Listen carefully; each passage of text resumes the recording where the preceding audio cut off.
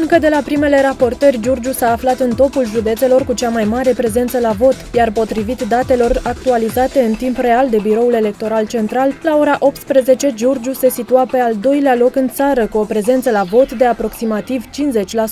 În ceea ce privește situația în municipiu, procentul este de peste 33%. O prezență mare se înregistrează la secția de votare de la galeriile de artă, 45%, și la secțiile de la școlile Mihai Eminescu și Mircea cel Bătrân, bătrân 40, respectiv 41%. La polul opus, o prezență mai mică este la secția din incinta Direcției pentru Agricultură Giurgiu 23%, Spitalul Județean Giurgiu 27% și Liceul Tehnologic Ion Barbu 29%.